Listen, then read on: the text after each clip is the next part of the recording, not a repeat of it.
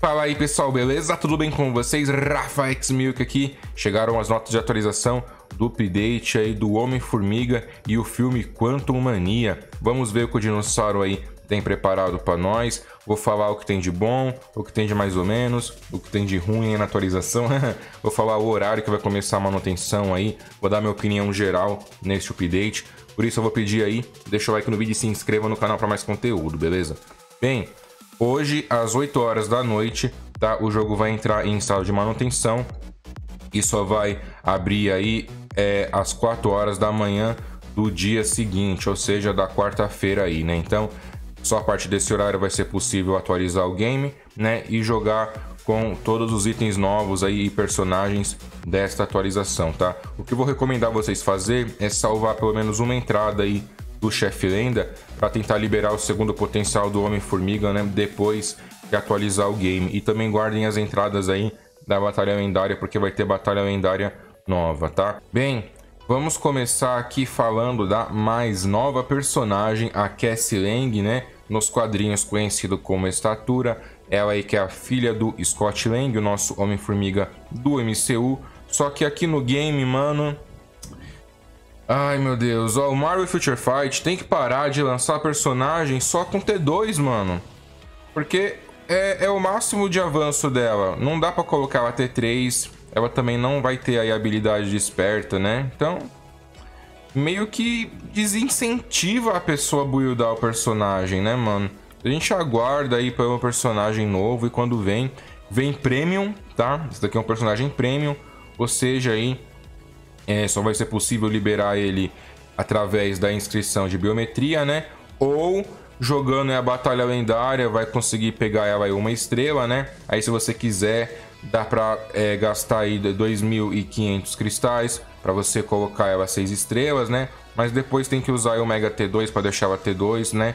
Ou você vai pegar a inscrição de biometria, upar os equipamentos para nível 20 dela e depois usar um bilhete T2 comum aí para conseguir deixar ela no nível máximo, né?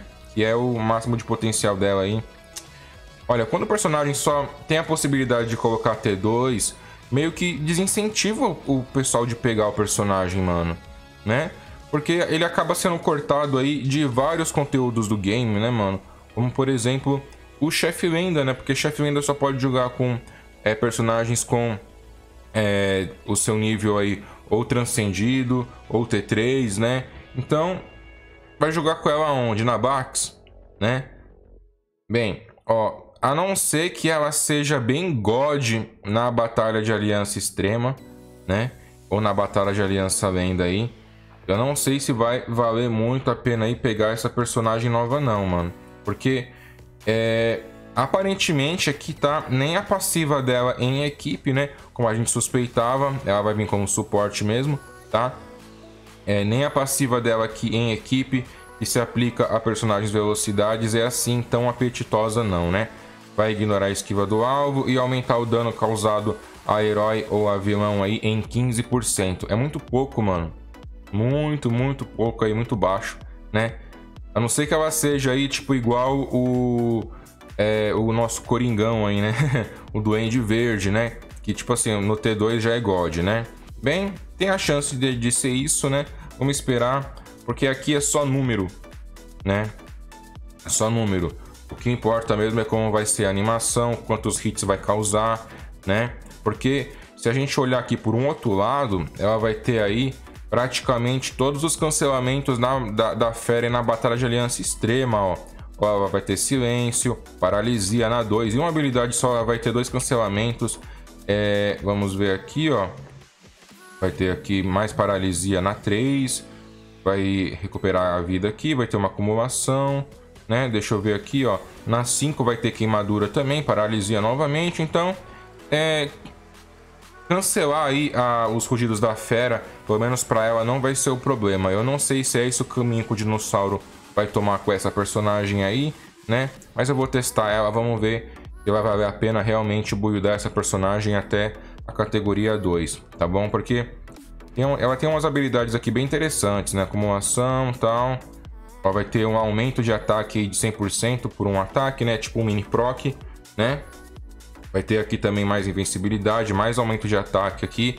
ó, é, tem esse lado aí, né? Tipo assim, as habilidades dela indicam que ela tem a chance, né, de ser boa na Bax. Mas vamos ver, né?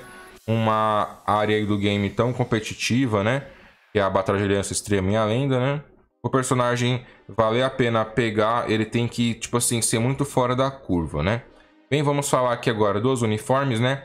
É, os uniformes aqui vão entrar com desconto de 40%, ou seja, vai dar para pegar aqui esse traje por 1.050 cristais, tá? Isso com desconto de 40, tá? É, só que vai ter um detalhe, tá? Em relação ao preço do uniforme aqui, principalmente do uniforme do Homem-Formiga. Vou tentar explicar mais pra frente que talvez esse preço aqui possa sair até mais barato, tá bom? Nosso amigão Formigão vai continuar velocidade, herói, né? Vamos falar aqui dos buffs dele, ó. Efeito de uniforme, vai aumentar aqui o hit combado em 15%, unidade de quebra de guarda e redução é, de dano recebido aí em 20%, né? Características bem legais no PVP, né? Então, é, se a gente ler aqui as outras habilidades, vai ver sim que ele tem características de personagem de PVP. Tirando um detalhe importante, aí deixa eu falar aqui que eu, eu vou mencionar no final aí. É, ele vai ter aqui na T3 dele, ó, invencibilidade 10 segundos, aumento de ataque 60%. Ele vai penetrar tudo, aí super armadura, barreira, escudo, imunidade, invencibilidade, vai ignorar a esquiva do alvo também, né? É, vai reduzir aí a velocidade do inimigo em 30%. A T3 dele aqui tá parecendo bem legal, mano, tá? E também aqui a passiva dele, ó, vai aumentar em 40% do ataque, tá? E aquela passiva lá bem única dele, né, que vai aumentar a esquiva garantida dele em 87%. E não é esquiva normal não, tá? A esquiva que a gente aumenta aí pro CTP da Fúria. É, aqui é esquiva garantida, mano. É, pela maneira como o game funciona, né, existem vários níveis de esquiva, né? Tem esquiva normal, tem esquiva garantida, tem a esquiva verdadeira, né? Então, no nível da esquiva garantida aí vai ter 87%, mano. Olha, quando o personagem já tem aí é, 20, 30% de esquiva garantida, já é considerado bastante já suficiente para esquivar de vários ataques e sobreviver, né? Agora o 87 ele vai ficar quase aí que inalcançável na BT né? Só que um monte de personagem agora tem ignorar esquiva aí né, nativamente no kit, então eu não sei o quão efetivo isso daqui se torna na batalha temporal, mas tomara que é, esse efeito aqui seja bem interessante aí, né, mano? Principalmente contra as Jean Greys da vida aí que nasce já apertando a habilidade 2, né? O Miranha que já nasce apertando a habilidade 4, o Hulk também, né? Quanto mais tempo a gente sobreviver, melhor. Essa passiva vai durar 20 segundos e 30 segundos de tempo de recarga, ou seja, somente aí por 10 segundos essa passiva não vai ficar ativa, né? Vamos ver como vai interagir né, essa mecânica junto com as outras habilidades dele e também os ataques do oponente. Vai ter fratura aqui, né? Vai ter, deixa eu ver aqui, é... incapacitação na 2. A 3 aqui vai ter uma acumulação de dano causado. Deixa eu ver ele vai reduzir o dano do oponente, o oponente vai encolher em até 50%, é bastante, tá? Uma acumulação boa aqui de dano também. Ele vai ter silêncio aqui, invencibilidade, mais um aumento de ataque aqui na 4. E na 5, paralisia aí, né? E vai ter meio que um mini proc aí de 100% também na 5, né? Ó, personagens masculinos velocidade não tem assim tanto, tanto, tanto espaço na Batalha de Aliança Extrema, nem na lenda não, né? Então, quando, quando vem esse tipo de personagem, como por exemplo o Miranha, a gente espera que ele vá bem aí, mais ou contra chefe lenda ou contra outros jogadores, né? Então, se você tá procurando alguém aí para Bax ou para Bal, né? Esse daqui não é o cara para vocês buildar não, tá? Mas não, não, não quer dizer que não vale a pena pegar esse traje, tá? Eu vou testar, vou colocar na tela aí depois o, no canal aí, os resultados aí dos testes, se é bom no PVP, se não é, tá? Se vale a pena buildar ele, então fica de olho no canal aí, deixa o like, se inscreve aí, vai me ajudar bastante, tá? É, o detalhe que eu queria falar aqui do Homem-Formiga é que, assim, ele tem aí boas características de PVP, né? Ignorar, é, ignorar esquiva do alvo, ele vai ter também é, esquiva garantida, né? Só que uma coisa que ele não tem aqui, que me preocupa um pouco, é ignorar iframe do oponente, né? Ou contra-ataque. Eu não vi isso aqui, mano. contra-ataque aí que é interessante ignorar esquiva aí, porque o personagem fica lá com aquele xizinho, aquele xizinho vermelho lá que não dá para atacar. Se o seu personagem não tiver ignorar iframe, você fica parado olhando ele, né? Enquanto isso, o oponente tem a vai ignorar é, iframe e vai te atacar, né? Mas esse daqui é um efeito que às vezes não tá aqui descrito nas habilidades. Pode ser um efeito aí meio que escondido e só fica aparente aí quando a gente vai usar, né? Então, ainda tem chance do nosso amigão Homem-Formiga aí ter essa habilidade, tá? Então não se preocupem, vamos testar quando chegar é, a atualização, tá? Agora aqui falando da Vespa, é... não se preocupem aqui porque eles não falam da passiva T2 dela, né? É a passiva que remove penalidade, né? É tipo como se fosse uma passiva da uma liderança da Jean Grey, uma liderança do Sentry aí, já incluso na passiva do personagem que se aplica a todos os personagens que estiverem no time, né? Então, se não tá aqui, quer dizer que ela não foi alterada. Então, fica tranquilo, tá? E pelo que tudo indica aqui, ela vai ser uma boa liderança pro PVP, tá? Ela já era já uma boa liderança pro PVP, né? Mas ela vai continuar porque, ó, ela vai aplicar a todos os personagens, ó, no efeito de uniforme aqui, o aumento de HP em 20%, tá? O seu traje aqui vai ficar disponível por 1050 é quando lançar a atualização, né? Com desconto de 40%. Mas o dela não vai entrar com um desconto maior aí de, um, é, de uma novidade que vai entrar no game, tá? Já já eu explico mais detalhes sobre isso, deixa eu chegar lá, tá? É, a liderança dela vai aumentar ataque, defesa e velocidade bastante, tá?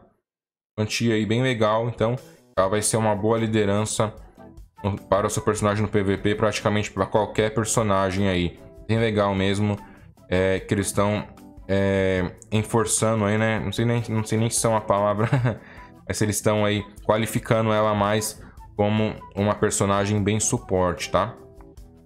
É, vamos ver aqui as outras habilidades dela. É, ela também aqui não vai ter é, e ignorar a iframe do oponente, né? Se a gente ler as habilidades aqui, mas não indica que ela não tem esse efeito aí escondido, tá?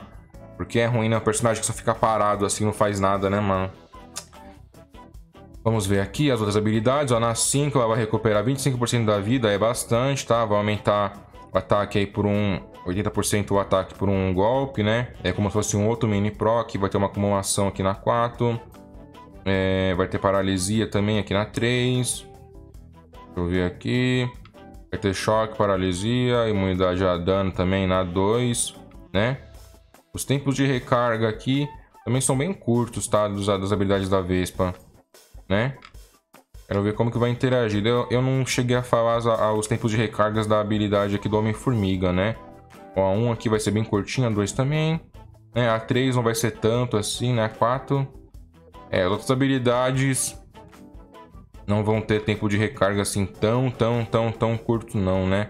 Chegando aqui até 8 segundos com habilidade 5 e habilidade 4 e a habilidade 3. Ó, as três habilidades com o mesmo tempo de recarga, né? É. No PVP não indica muita coisa não, né? É mais no PVE mesmo, né? Mas vamos que vamos. É, nossa amigona Vespinha tá, parece tá bem legal, tá? Pelo que dá pra ver aqui nos textos aqui, né? Parece que ela tá bem legal, ó. Ela vai re reduzir a defesa do oponente aqui com a 1 também, né? Então, bem legalzinho. A super armadura aqui na 2 também, né? É, Igual eu falei anteriormente aqui, é tudo número, né? A gente só vai saber mesmo quando for jogar, tá? E agora o nosso amigão aqui, o Mogod, né? Olha, surpreendeu aqui o dinossauro. Eu achei que ele ia, iria colocar o Modok aqui como um personagem suporte, né? Mas não é o caso. Modok aqui, ele tá como 100% causador de dano aí e liderança própria aí, né? É, ele vai entrar como super vilão, energia, né? É, o traje vai ficar por 1050, só que esse traje aqui não vai entrar no outro desconto que eu vou falar mais para frente.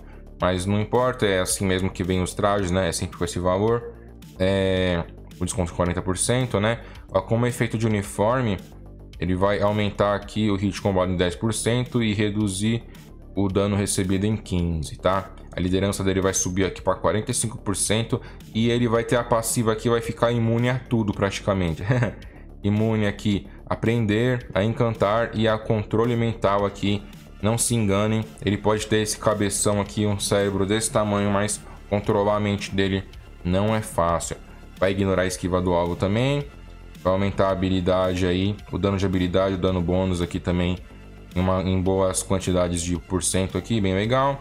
É, ele também aqui, ó, é, para quem não pegou o Magnetovski, né?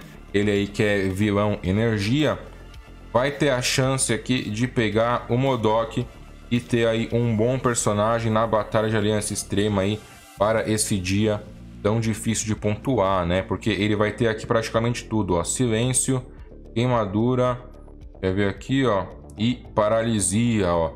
Ele vai ter tudo aí o kit completo para vocês pontuar o máximo possível na Bacchus. Para quem não tem o traje do Magneto, é, e gosta de batalha de aliança extrema, né? Vai ser meio que obrigatório pegar esse traje. Vamos falar aqui das habilidades dele, né? Ele tem de interessante aqui.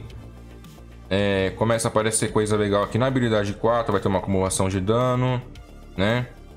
Na 5 aqui também ele vai ter invencibilidade, mais um aumento aqui de ataque. Controle mental também é legal para deixar a fera paralisada, né? E os minions também. Bem bacana, mano. Ó, é, eu gostei aqui da animação da T3 dele, mano.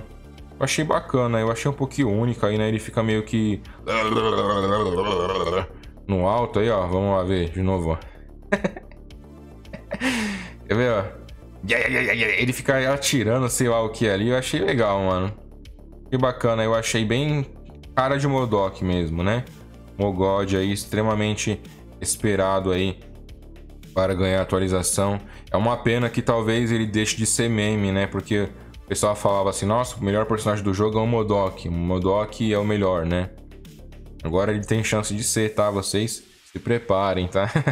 A habilidade T3 dele também aqui tem um textão gigantesco aqui, um monte de efeito, um monte de coisa. Para resumir, parece ser uma boa habilidade T3, tá? É... E o nosso amigão Modok aqui, ele não vai ser PVP não, tá? Ele tem cara de PVE.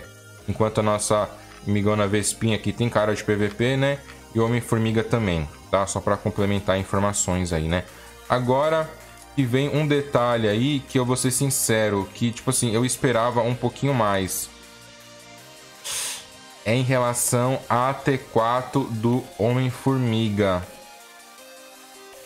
Eu esperava aí algo mais criativo, né? Parece que tá faltando um pouco de criatividade aí pro dinossauro amarelo, porque a T4 dele é basicamente aí um aumento de ataque e um aumento de tamanho, né? Tá o aumento de tamanho aí, pelo menos visualmente, é interessante para quem aí já jogou com o Golias, né? Que é o nosso Homem-Formiga original, tá? Para quem não sabe, esse daqui é o Homem-Formiga original. Para quem já jogou aí com o Golias, percebe que durante as habilidades aí, ele aumenta de tamanho. Olha aqui, o Hulk também aumenta de vez em quando, tá? Ó, eu vou atacar, o, tamanho vai subir, quer ver? vai aumentar, ó.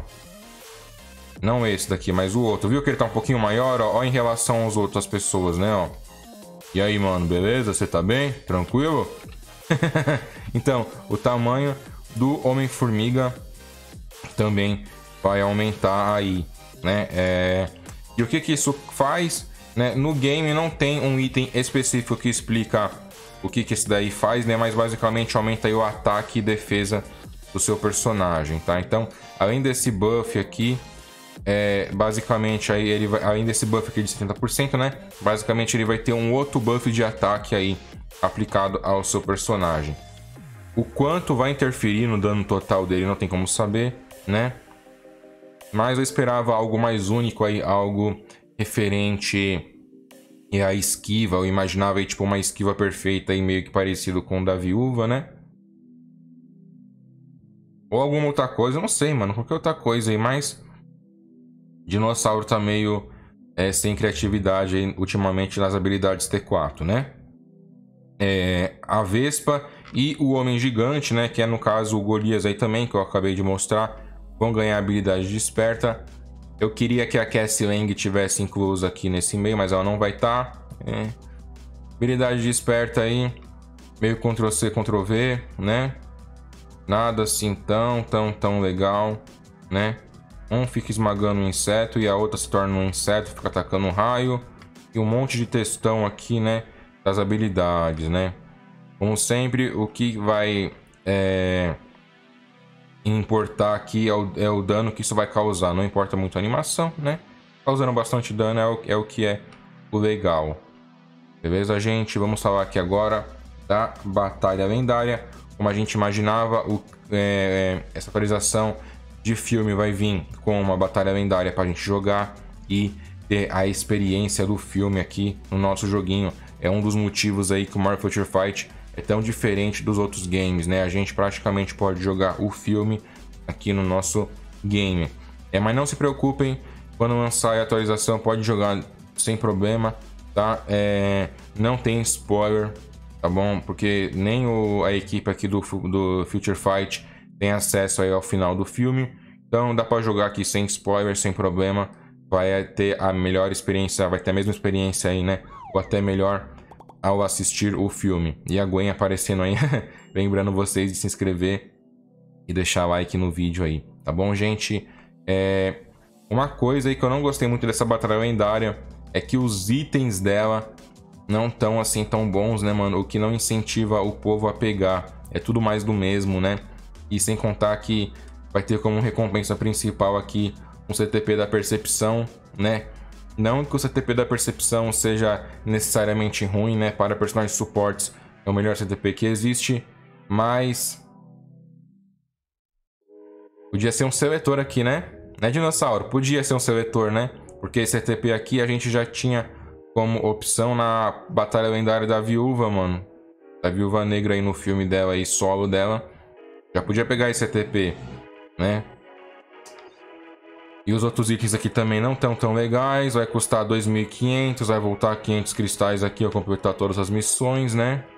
Vão ter três estágios e também vai ser possível liberar aquece aí uma estrela de graça. E se quiser gastar também 2.500 cristais para deixar as 6 estrelas, só que eu não recomendo fazer isso, tá? Recomendo utilizar bilhete 6 estrelas aí que a gente adquire no núcleo cósmico ou outros formas aí de eventos aí que o dinossauro sempre tá lançando é, bilhetes de avanço, tá? Meio decepcionante aí, né? O legal é que a gente vai poder ver como que vai ser o Gore. Gore como que vai ser o Kang dentro do game aí, né? E é assim que eu acho que vai acontecer, tá, gente? Vai vir a batalha lendária agora. Vamos ver como que vai ser as habilidades ali do Kang. Depois Pode vir aí um chefe gigante ou um chefe lenda aí do Kang, a gente fala chefe gigante, porque aqui na imagem principal ele tá bem grandão, né? Mas pode vir um chefe lenda também, não importa. É, com certeza vai vir ele jogável em outros modos também, né? Pra só depois vir ele aí é, jogável pra, pra, pra gente utilizar, não jogável contra, tá? Igual aconteceu com o Gore, veio numa atualização, na outra veio aí o chefe dele e na outra da outra veio aí a possibilidade de a gente jogar com ele. Então é assim que eu acho que vai acontecer. Com certeza a gente vai ter o, o, o. Nossa, falei de novo, Gore, tô com o Gore na cabeça. Tô com um calvo na cabeça, né? É, a gente vai ter a possibilidade de jogar o Kang mais pra frente, tá? Não se preocupem, calma, calma, calma. Não priemos cânico, tá? É... Ó, uma coisa que é legal, que é o que eu quero falar aqui dos trajes, é o seguinte. É aquele, aquela missão guiada, né? Eu acho que esse é o nome aqui em português, objetivo guiado. É, aparentemente, tá? É o que os textos indicam aqui, mas a gente vai descobrir mesmo no game, tá? É a, a objetivo guiado aí que a gente pega o personagem, vai fazendo as missões dele aí, né? E no final dá para colocar ele T3 vai ser possível aí fazer novamente, né? Ou seja, duas, duas vezes aí o objetivo guiado, ou seja, por exemplo, você fez um objetivo aí e escolheu vai o Thor, né? Aí a missão de colocar um outro personagem no objetivo guiado vai aparecer de novo, tá? Então vai ser possível duas vezes. E aqueles que já, né, é o que, é o, que o texto indica, tá? Não é 100% confirmado. É, é, o que eu entendi aqui. É, e aqueles que já escolheu o personagem, já completou a missão aqui do objetivo guiado, né? É, vai resetar a missão, né? Então, até quem já completou vai poder é, pegar outro personagem nesse objetivo guiado. E aqueles que já estão fazendo também, já, tipo, tá no meio da missão agora, Quando você acabar a missão, vai aparecer novamente a missão aí. Eu achei bacana porque é, esses, é, esses objetivos guiados aqui, eles também colocam trajes aí com desconto. E é aqui que entra o detalhe do traje que eu falei, né? Porque é, quando vinha esses objetivos guiados aí, é, para os jogadores iniciantes, eles ficavam meio confusos, porque, por exemplo, é, quando você completava que o objetivo guiado, ficava disponível um traje para comprar aí com 50% de desconto, né? Que o, que o desconto fica aí valendo 875 cristais. Mas nem sempre o traje era o melhor possível, né, mano? O traje não era bom, né? E agora o dinossauro vai mudar para o traje que ficar disponível sempre ser o último traje, né? Ou seja, se você começar aqui o objetivo guiado do Homem-Formiga, não vai ficar o traje antigo dele aí com desconto, vai ficar o traje mais recente dele, né? Então, se você começar o jogo agora, tá? Pegar o Homem-Formiga como objetivo guiado, o traje dele novo vai ficar com desconto de 885 cristais. Entendeu? Então, dá para ter um descontinho bem legal aí, tá? E esse desconto aqui vai ficar disponível praticamente aí para sempre aí se você escolher ele como é, personagem no objetivo guiado, tá?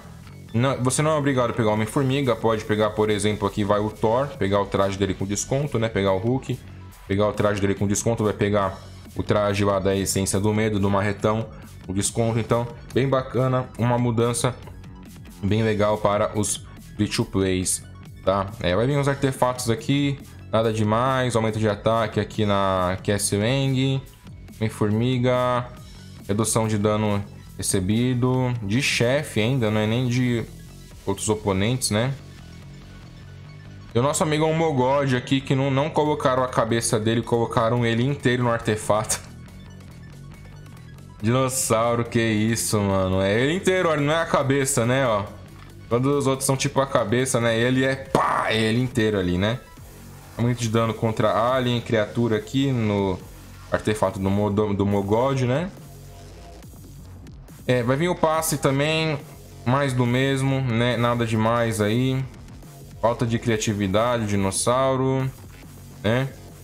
Os ícones aqui bem legais aqui. O do Mogod vai ficar disponível na Batalha Lendária Paga lá, né?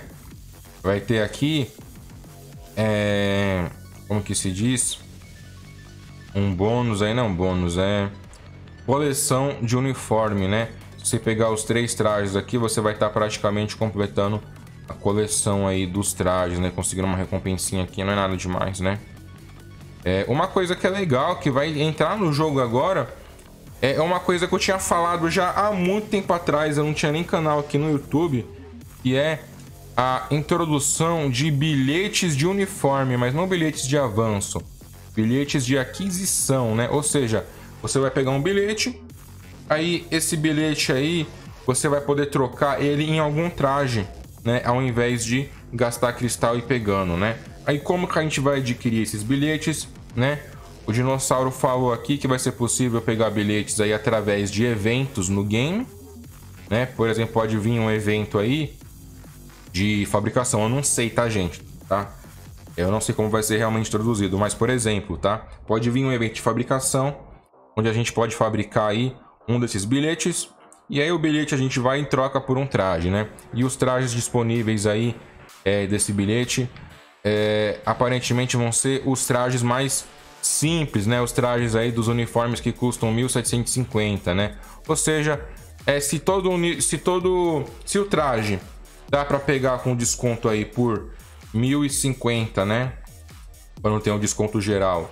Ou se o traje fica aí por 875 aí, né, quando vem a Black Friday e o aniversário, vai ser possível trocar esse bilhete pelo traje, tá? Então, nada de usar esse bilhete no traje da Jean, né? Outros nativão ou trajes aí sazonais, né? Eles falaram que não dá para usar em traje sazonal, né? Uma pena, seria legal pegar esse bilhete e gastar aqui no traje do Magneto agora, né? Mas não vai ser possível isso. Mas dependendo da maneira como vai ser possível adquirir esses bilhetes aí, né? De uniforme, talvez é, seja assim uma mudança bem-vinda no game, né? Uma adição, não mudança, né? Uma adição aí, né? É, também esse bilhete aqui vai vir em pacotes no game, tá? Por exemplo, você comprando, você comprando aí algum pacote T3 aí, né, de itens, pode vir um bilhete de traje aí, né? Vai incentivar as baleias a gastar mais e mais, né? É, mudanças aqui na utilização do, do chip de experiência, né? Melhoria na qualidade de vida aqui na fenda dimensional, mas nada demais. É, uma alteração aqui bacana que não vai mostrar mais os efeitos de partículas da habilidade T3 da Jean Grey, nem a habilidade 5 do Namor, né, que buga muito aí é o chefe gigante. Então eles vão estar tá meio que melhorando aí a qualidade gráfica, né, e a experiência de jogador do chefe gigante aí, né? É, também vão melhorar aí o matchmaking, né, para jogadores novatos não pegarem e enfrentarem aí jogadores mais veteranos na batalha temporal, né? Isso se a pessoa tá na liga bronze ou na prata, né? Tem uns ajustes aqui de erros, né? Deixa eu ver. Nada demais aqui não, né? É, tem uns ajustes aqui, mas o principal é isso aí, gente. E aí, já acharam da atualização, né? Sentimentos conflituosos aí, né? Não dá para saber exatamente se o Homem-Formiga vai vir quebrado ou não, né? Mas, é, de forma geral, eu gostei dos personagens aqui da atualização. Só não gostei que o dinossauro fez a Cassie aqui só ter dois, mano. Acho que isso daqui é uma bola fora gigantesca, né, mano? Tem que parar com isso, mano. Dinossauro, para com isso. Pelo amor de Deus, né? Mas de forma geral, tá bem legal aqui. E aí, vocês estão animados para atualização? Vamos pegar algum traje aí? Gostou das novidades aí do objetivo guiado, né? Então, comentem aí o que vocês acharam da atualização. Muito obrigado por assistir ao vídeo até o final. Deixa o like no vídeo, se inscrevam no canal. Obrigado a todos os inscritos e a todos os membros do canal do Rafão, aos membros de categoria máxima, ao Anderson Bergiano e ao Marcos Vini.